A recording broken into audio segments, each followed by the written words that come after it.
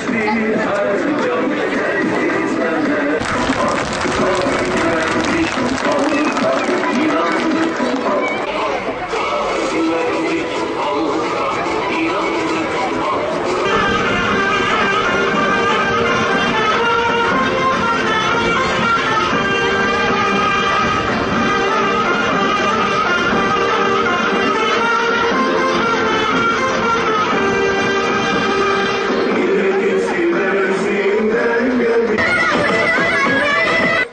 Başbakanımızı da bizi size hizmet edelim. Sizlerin hizmetkarı olalım. Gelip buranın yolunu çözelim, suyunu çözelim, köy içini çözelim, okullarını çözelim. Ak ziyaretimizi daha yaşanılabilir, daha güzel hale getirmek için bizi seçmiştir. Ama hepiniz şahitsiniz. 30 Mart 2014 seçimleri çok farklı olacak. Başbakanımızın, AK Parti'mizin buna ihtiyacı var. Hepimizin buna ihtiyacı var.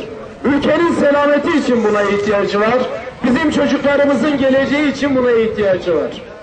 Çünkü Türkiye kalkınmış bir şekilde artık okullarını çözen, yollarını çözen, havaalanlarını yapan, barajlarını yapan, her yere suyu götüren, bize kimin hizmet getireceğini, kimin bizi saygıyla karşılayacağını, kimin bizim barış ortamımızı sağlayacağını, kimin bizim güvenlik ortamımızı sağlayacağını, kimin bize sağlık ocağı ve okul getireceğini biliyoruz diyor.